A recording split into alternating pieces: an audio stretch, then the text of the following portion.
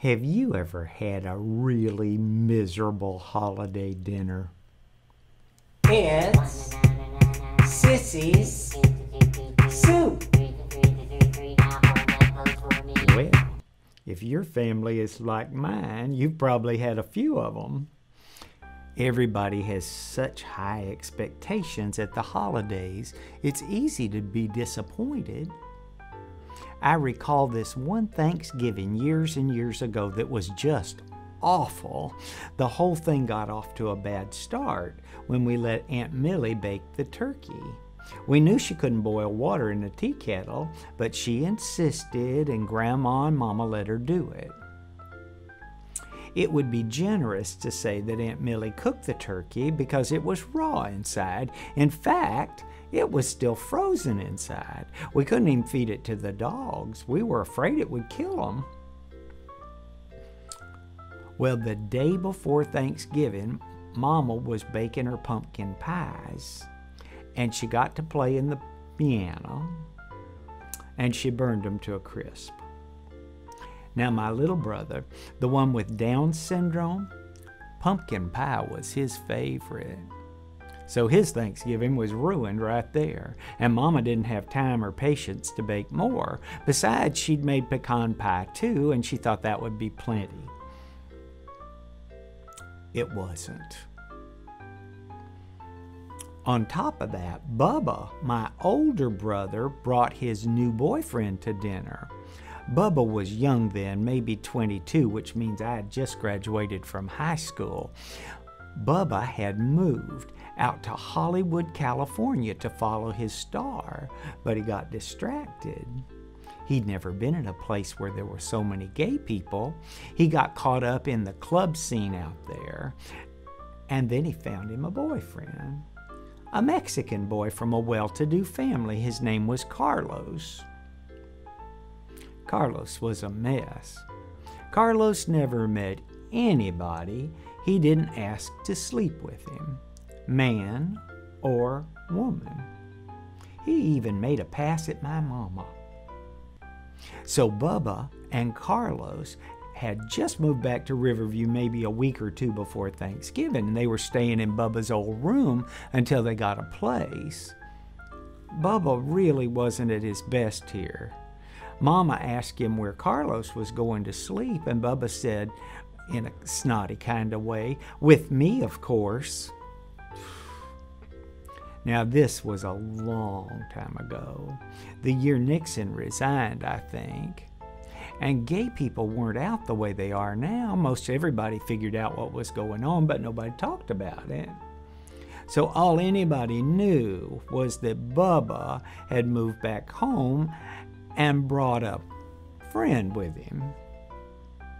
So here we were at the dinner table, the four of us Mama, Bubba, me, my little brother, who was already really aggravated, Grandma, my mama's brother Bill, his wife and two kids, Aunt Millie, and of course, Carlos. Daddy wasn't there. He was on a hunting trip like he was almost every Thanksgiving. Now, Carlos, by the way, had been in the U.S. on a study visa, but he dropped out of school, and so technically he was illegal. Well, there we were, with no turkey, burned pies, and Carlos, and everybody trying to be pleasant. Well, conversation was slow. Aunt Millie glared at Carlos from time to time. Uncle Bill, who loved a good prank, wanted to liven things up. So all of a sudden he said, real serious,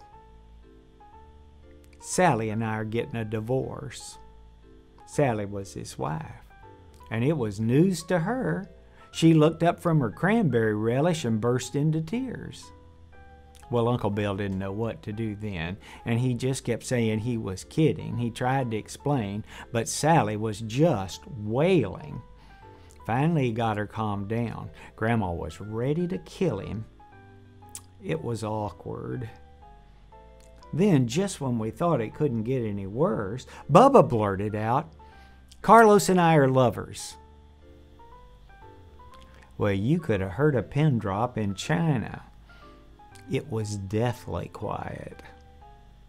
It seemed like an hour, but it was probably only about 15 seconds.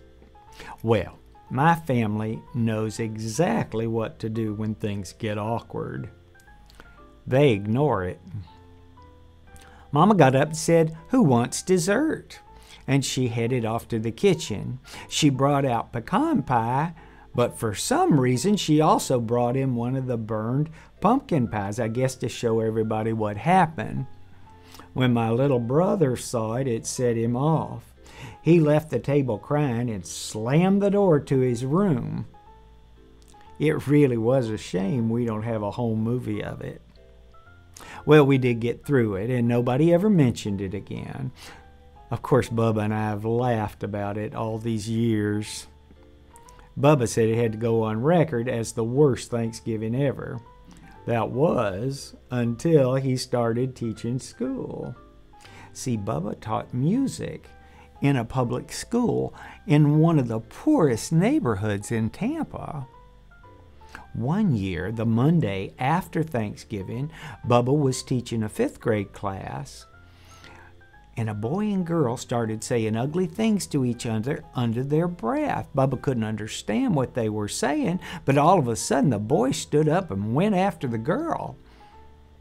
Bubba got between them and put an end to it, got him calmed down, but the boy kept saying, She said something bad about my mama. She said something bad about my mama.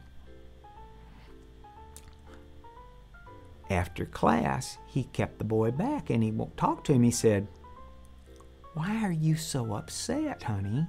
And the boy said, She was talking about my mama, and my mama got shot on Thanksgiving.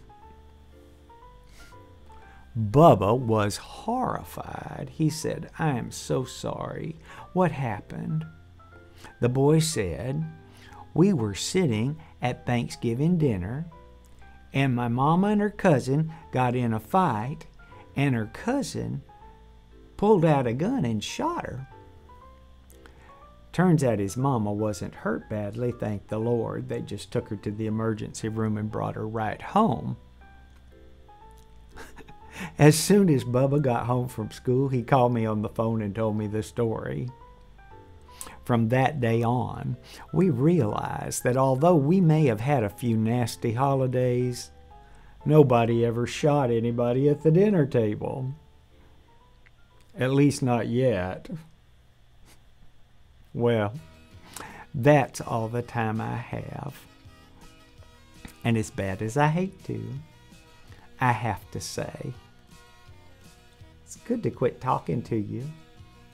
Have a happy Thanksgiving. Bye bye. Bye bye. Bye bye.